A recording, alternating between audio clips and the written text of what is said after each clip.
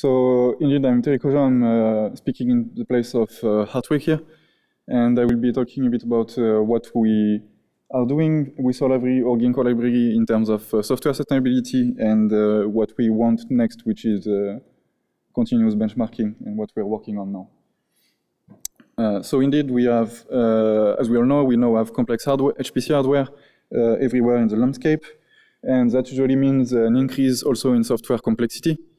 So we have, we need to support multiple programming models.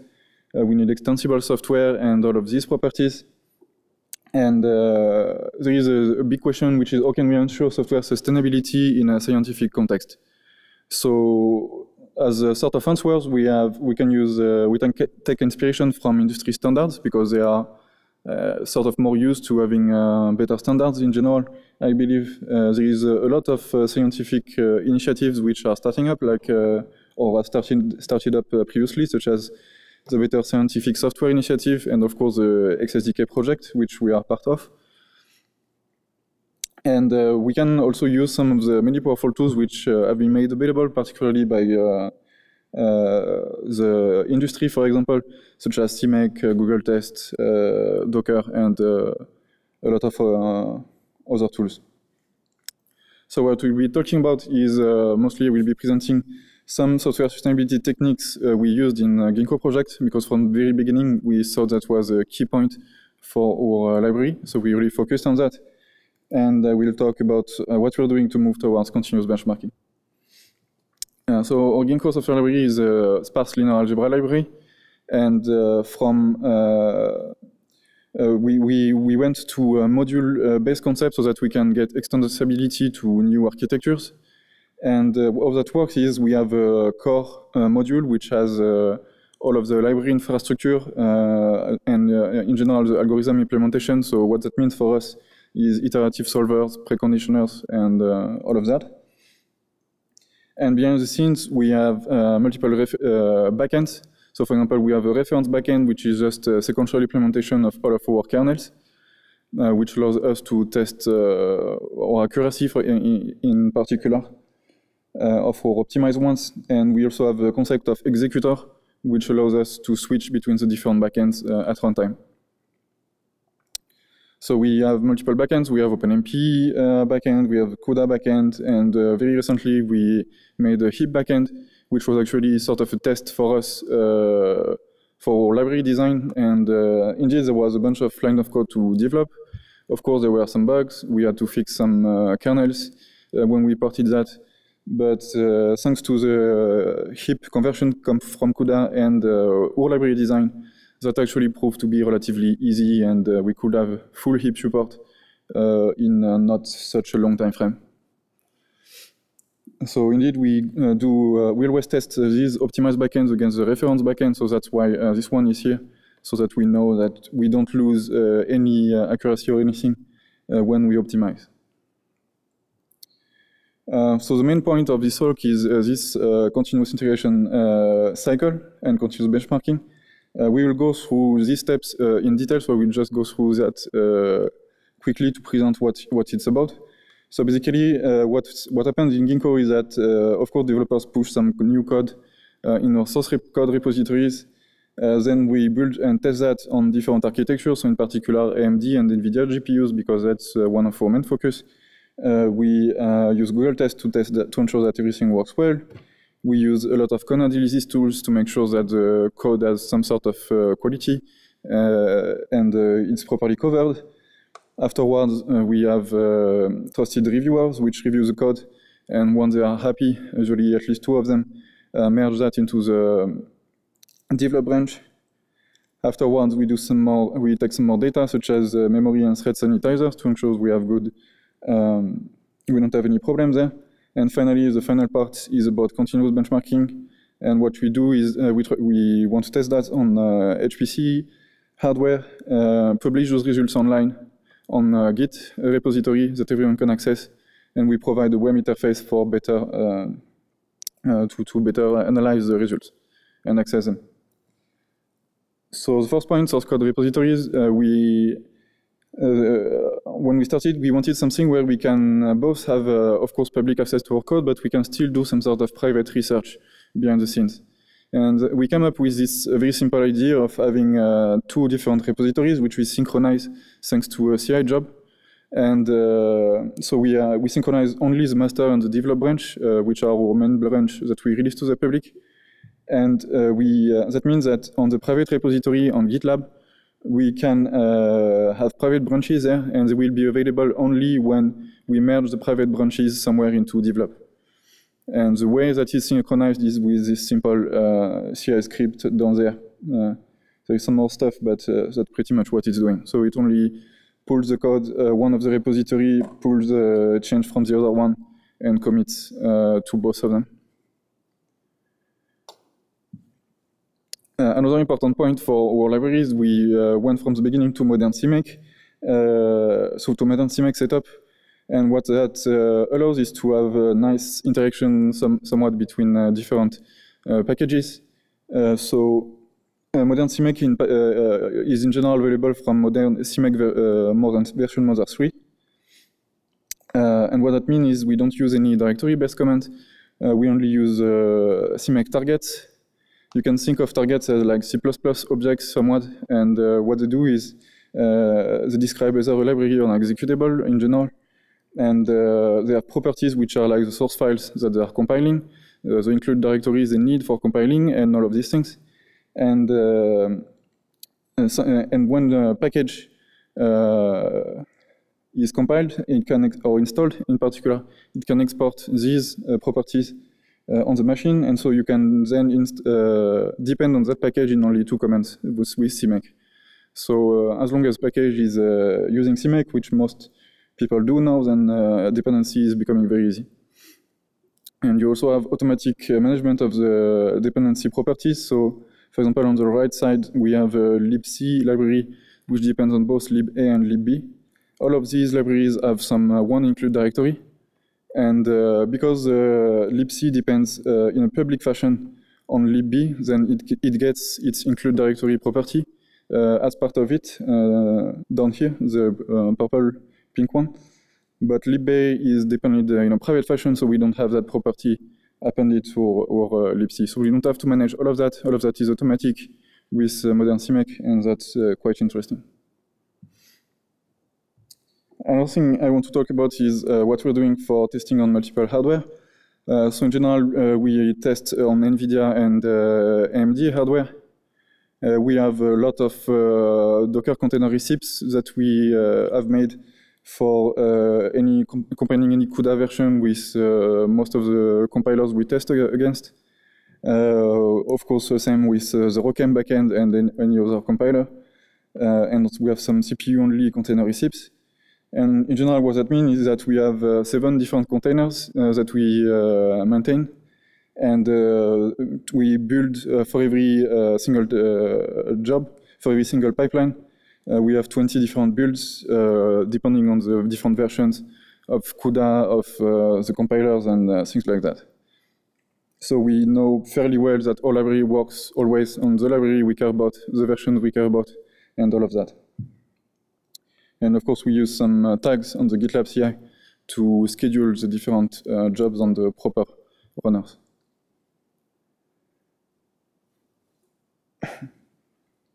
so uh, Another great uh, tool is Google Tests that we're using. I cannot talk uh, too much about that. There is a lot to say. Uh, but basically, the main point is that with GTest is very extensible. You can write any kind of test with that. You, it's very powerful for C++ code. And you can use, so basically what it does is it provides you a bunch of macros that you can call for, um, for doing testing. And you, all you have to do is use those macros and say what your test is doing Eventually, you can uh, define some class with uh, shared uh, data or properties that you want. Uh, but all you do is you really write what your test should be doing. So you don't you don't spend time writing uh, your uh, test infrastructure or developing your test infrastructure, which is very helpful in our case.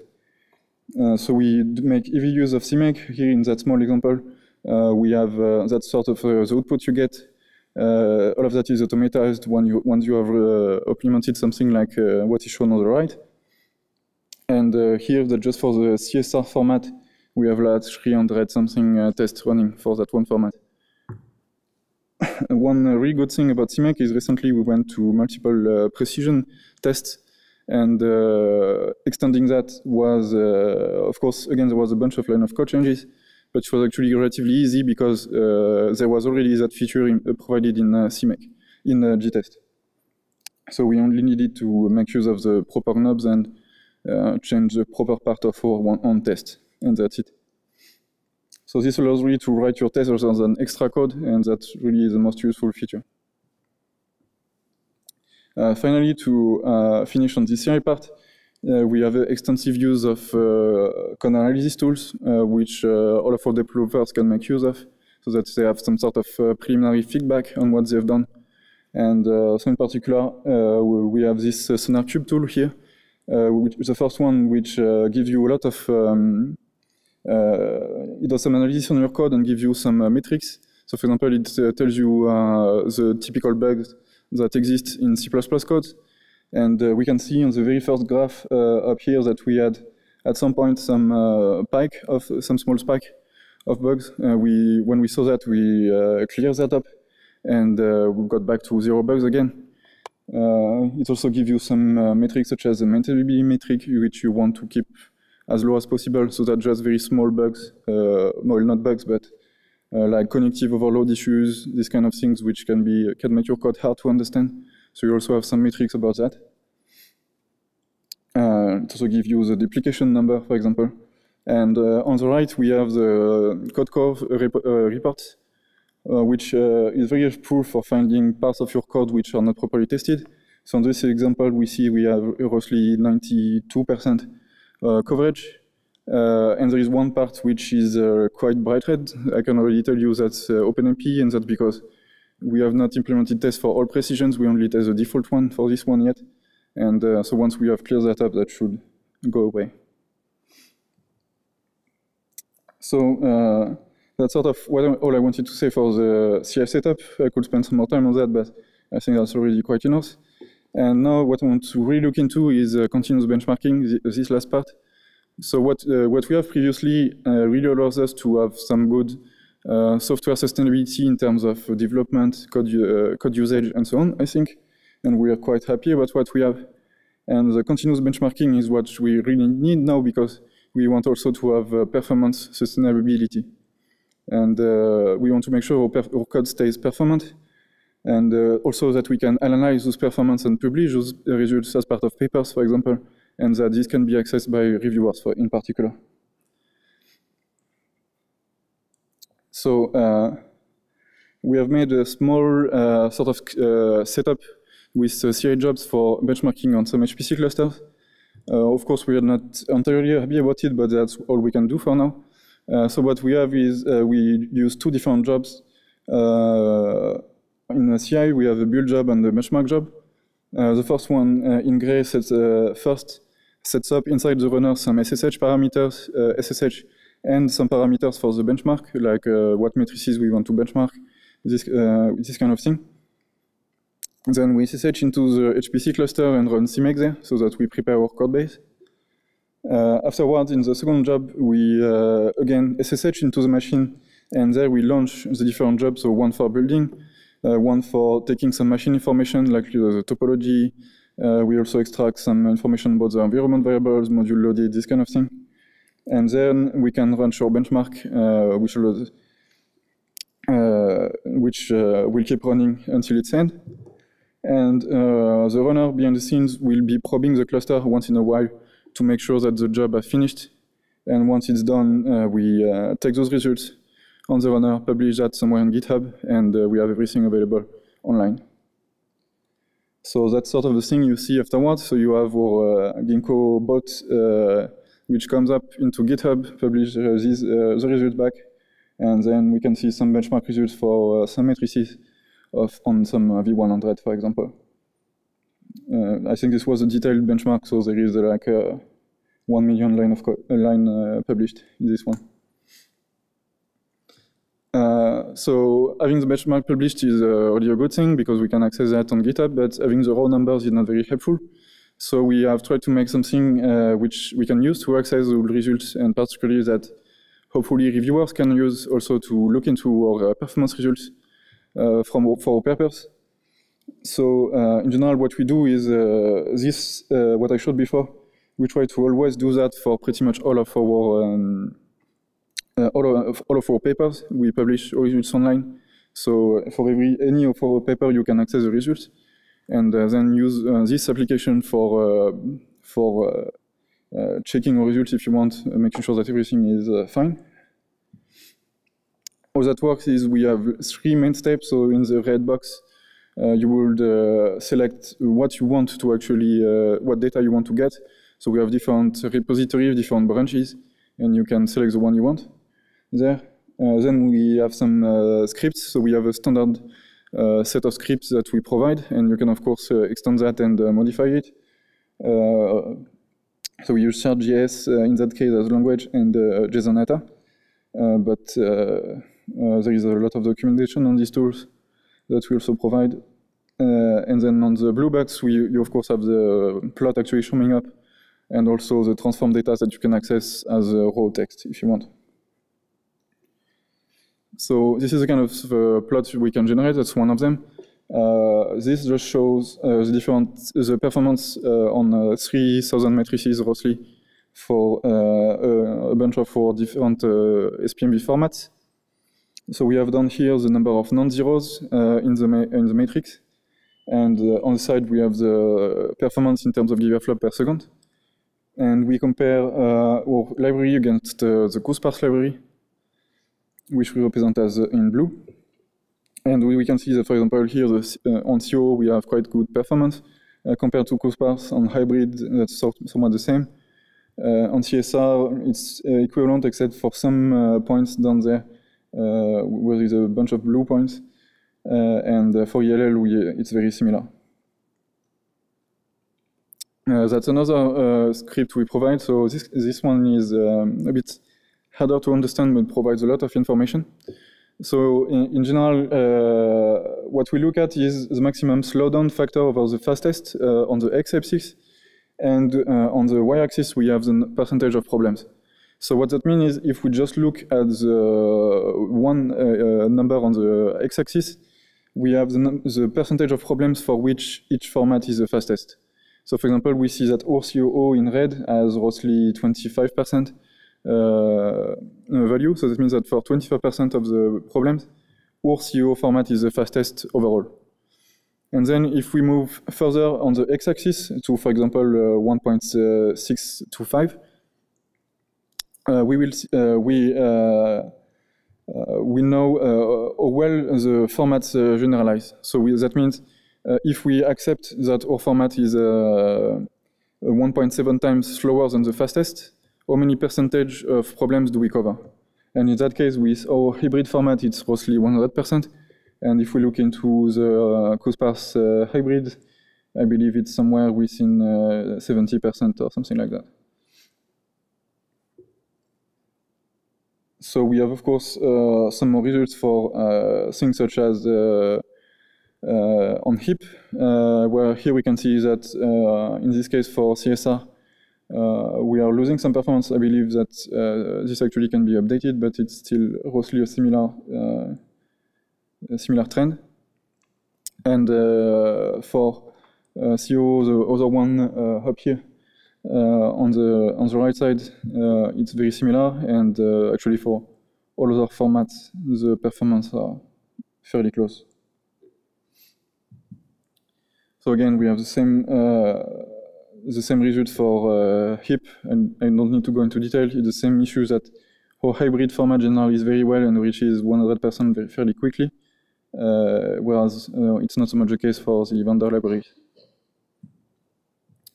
Uh, another plot that we provide, another kind of uh, plot, is a comparison uh, with relative performance one on, the, on each other, against each other. so here we are comparing the different vendor libraries implementation through our Ginkgo library. And uh, in green, uh, we have, so down here on the x-axis, we have the number of non-zeros again. And uh, on the y-axis, we have the speed up. So in green, everything means that NVIDIA is faster. in red, HIP is faster. So what we compare is uh, Radeon 7 and V100. Of course, Radeon 7 is not the MI50, which is a real HPC GPU for uh, AMD, but it has similar bandwidth. So uh, for us, that's all we care about pretty much. And um, we can see that uh, cuSparse in general wins quite well for all formats, except for sometimes for a high number of non-zeros where we can see that AMD starts winning, and that's maybe because they have slightly better bandwidth than uh, the NVIDIA GPUs. So we have similar results here with Library. Uh, so we'll just do um, a small conclusion. Uh, so in general, we showed some techniques uh, that we use for better software uh, sustainability. Uh, we think the efforts start at library design. we of course use make use of CI with GitLab and all of that we showed some techniques we use for continuous benchmarking and uh, also data analysis of our benchmark. And uh, there is some things we are looking into and uh, some improvements we really want. So for now, we use Docker plus SSH for one benchmark, and we really want to simply just run directly Docker con container or anything on on the cost on, on the cluster. Uh, we also want to, uh, that will mean we need to have some evaluation of the overhead uh, if we want to benchmark through containers, but uh, I've seen that there is already a bit, quite a few papers on that issue, so I think we should be fine. Um, and uh, also a good point is that as we saw, we saw with uh, the first talk in particular, there are several efforts going into that direction with, uh, as part of ECP in particular, to provide container execution on HPC platforms. And that's something we can, we definitely would like to look into.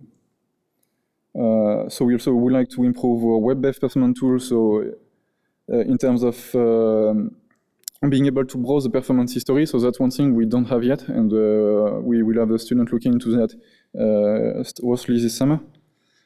Uh, and we also want to identify a small set of matrices which can represent the full uh, SuiteSparse set so that we can do a small quick benchmark with maybe only 200 metrics instead of using uh, 3000, uh, all of them. And uh, yes, that's it. That's it. Thanks for your attention, and I welcome any question.